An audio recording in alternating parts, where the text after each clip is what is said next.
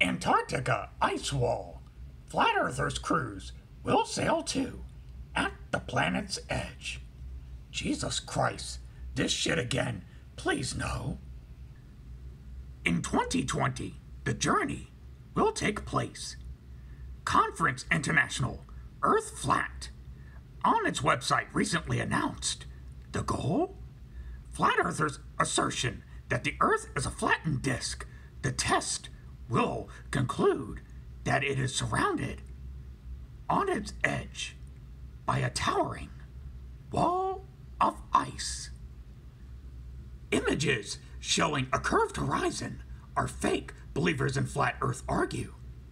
And around Earth that NASA has taken photos of, part of a vast conspiracy theory.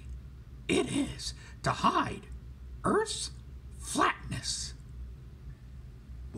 Catch there is systems and navigational charts that guide cruise ships and vessels around the ocean based they are around the principle of around Earth.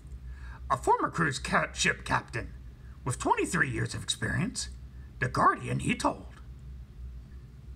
If flat the Earth had been, just enough three satellites it would have been to provide information to everyone on Earth via GPS.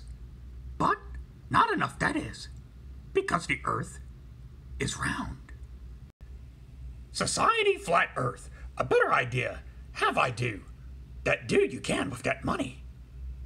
Give it to Yoda, you must, to support his ketamine addiction.